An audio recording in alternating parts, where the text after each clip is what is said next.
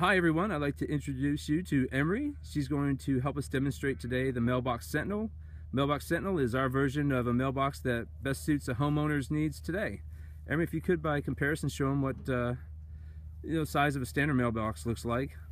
And you'll notice when we open up the front bin of this mailbox, we actually have the capacity of that mailbox that Emery just placed on the front right here to the right hand side. So we actually meet the specifications of USPS and Emery's going to insert some mail through the slotted area here and then we'll close that and we'll also show you where the bottom portion is available for other carriers to, to drop these products. We typically have a pan in the bottom here but I wanted to show you how these forks appear.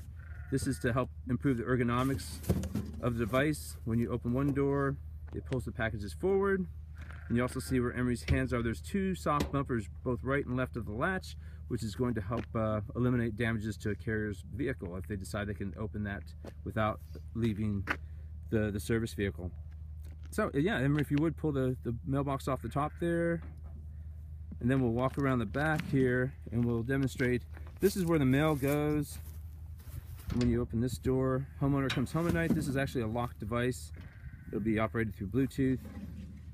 And there's the mail. It's protected and only the homeowner can actually uh, receive those uh, those letters. So this is going to also help protect your house. You see the camera on the back here.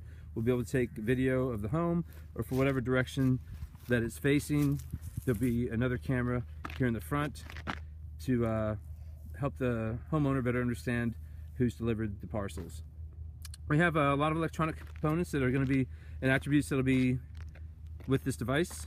But for this time, uh, this helps you understand